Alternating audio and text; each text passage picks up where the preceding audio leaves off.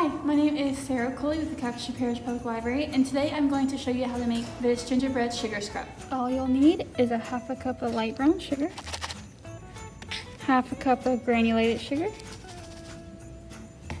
one third cup of coconut oil,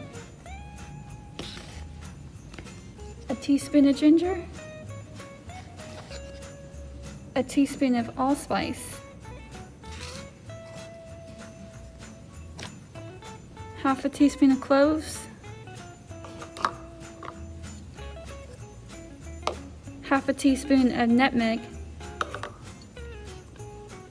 and then half a teaspoon of cinnamon.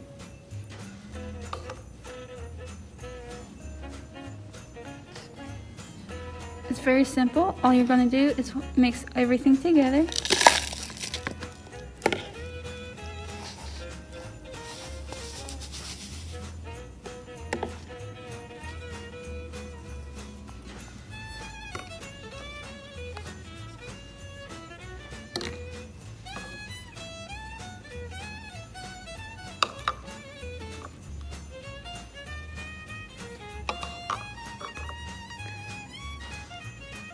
You can use a spoon, spatula. I, I prefer to use my hands, but you can use whatever you want to mix.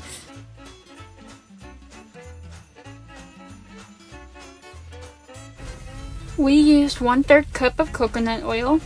You can use more or less coconut oil to change the consistency of the sugar scrub.